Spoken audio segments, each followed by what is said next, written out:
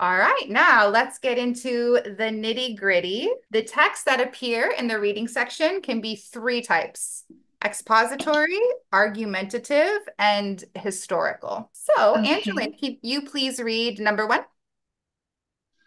In an expository test, the text, the author will give a general explanation of a topic. It will be a general introduction to a topic that you might find at a North American university.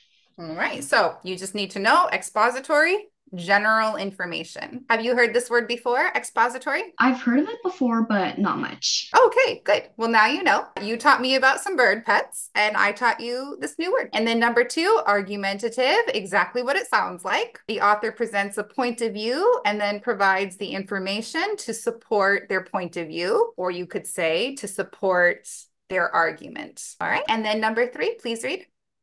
In a historical text, the author will present a person or event from the past. So again, exactly what it sounds like. Expository is really the one you got to remember.